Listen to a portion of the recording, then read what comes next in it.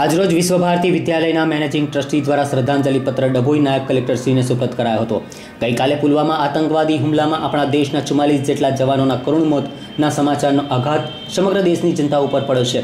આ સૌથી મોટો અને ભયંકર હુમલો છે, જેનો આપણે જડતોડતોડ જવાબ આપવાનો સમય આવી ગયો છે. હવે વાતો નહીં, વાર કરવાનો સમય છે. સરકાર શ્રી દ્વારા આ હુમલાની સઘન તપાસ હાથ ધરી હુમલાખોરોને સખત સજા મળવી જોઈએ. ચુમ્માલીસ જવાનોના પરિવારોને વેર વિખેર કરે છે.